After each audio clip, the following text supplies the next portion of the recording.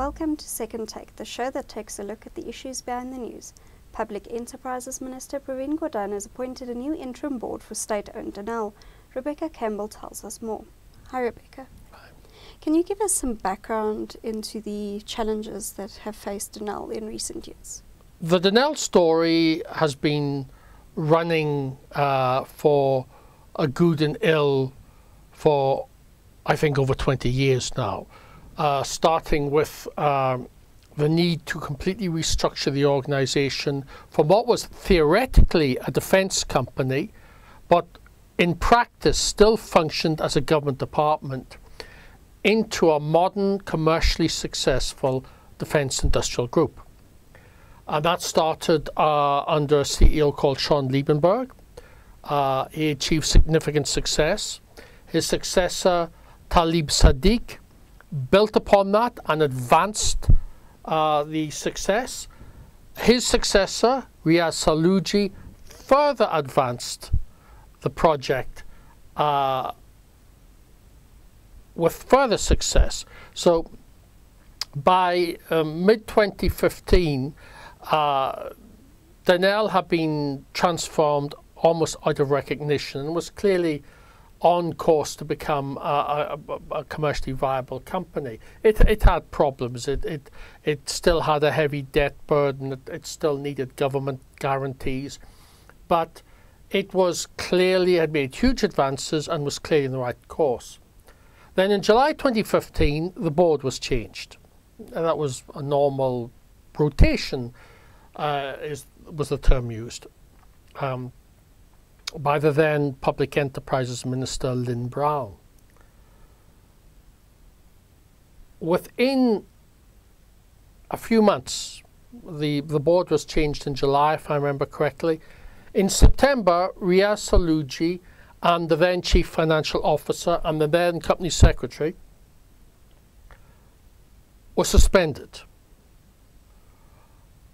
on grounds that were never adequately explained pending an investigation watch, typical of the period in which Jacob Zuma was president of the Republic, never went anywhere, and we never saw any results published. Um, the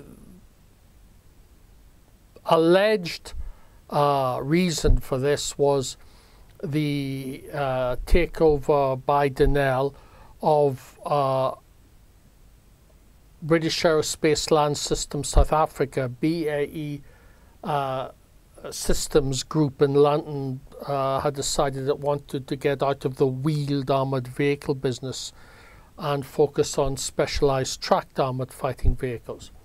Uh, so it sold its local operation in Benoni to Denel. That transaction was completely approved by the previous board, and suddenly the new board seems to find it objectionable, or that was the impression given.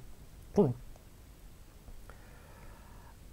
That seems to have been, and I think it's generally accepted, to have been a maneuver to get rid of Saloojee and the chief financial officer and the company secretary because they were obstacles to what is now probably called state capture.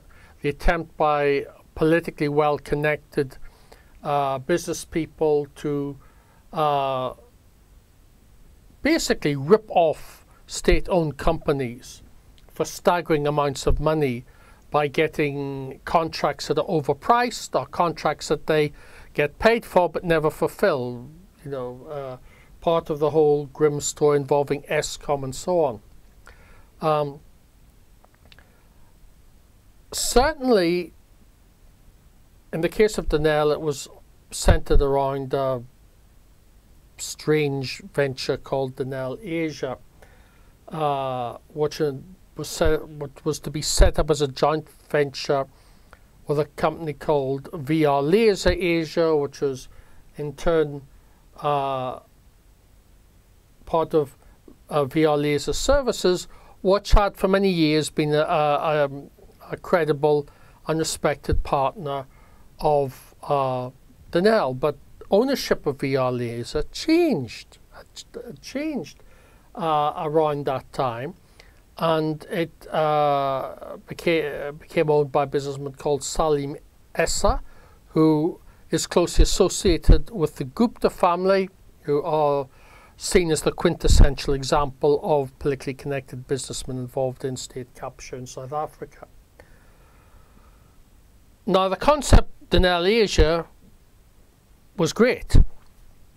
In fact, reported it was Saloojee's idea, but he was suspended before any decision was made on what partner.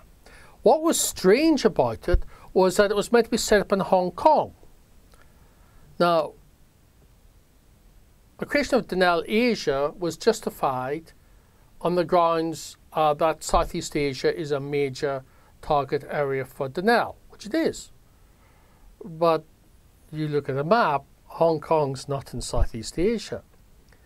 A selection of Salim Essa as the business partner was uh, justified on the grounds that he has great knowledge of the Indian market. Hong Kong's further from India than it is from Southeast Asia. So the justifications did not gel with the location. And as, as um, uh, defense analyst Helmoed Heitman pointed out uh, rather caustically, uh, most of the countries in Asia Pacific, Southeast Asia, and even India who are building up their armed forces are doing so in response to the growth of Chinese military power. So putting Denel Asia's head office in what is admittedly autonomous, but is nevertheless part of China, is a very was also uh, uh, uh, is a very strange decision. So anyway, it never went through. Uh, it was never authorized, but it was seen as uh, symptomatic of the new situation in Denel. And Denel's financial performance seems to have collapsed. Now, the um, what happened, we don't know because the, the information is not yet being made public, but its financial situation deteriorated enormously. And um, it's ended up in the situation that today it cannot pay all its suppliers. How will the appointment of the new interim board help the group? Well, it's a totally new board. No connection with the pre preceding board, which largely evaporated through resignations. You know, uh, the country got a new president, Cyril Ramaphosa, who was seen and is seen as the anti-Zuma, and the Zuma, uh, the 2015 uh, board appointed under President Zuma at that time kind of evaporated with people resigning uh, in rapid succession. It is a highly credible board, very impressive people on it. Uh, they are going to focus the, the, the chairwoman, uh, made clear that the immediate focus is to focus on the financial situation of the company.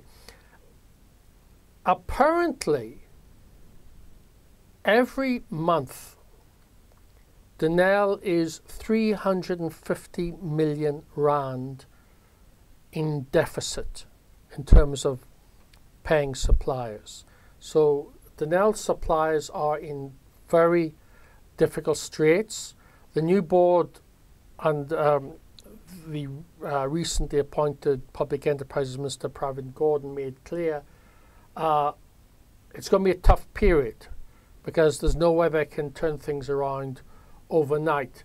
But I think we can confidently say that this board will find out what happened, why the company deteriorated so dramatically, so fast, where the money has gone or where they think the money has gone and trying to and turn it around. But how long it'll take to turn it around, I don't think that the board knows yet. Whether it'll involve further restructuring of the group, I don't think the board knows yet. Whether it involves units being closed down, sold off, uh, whether it involves job losses, again, I don't think the board knows yet. Although Denel has real assets. So uh, it does have capabilities that international defence groups would be interested in acquiring if they were put on the market. Uh, but we're going to have to wait and see what they find and what decisions they make. Who are some of the key members of the new board?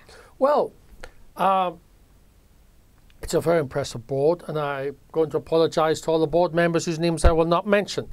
But leading businessmen and women, uh, Talib Sadik, the former CEO, is on the board.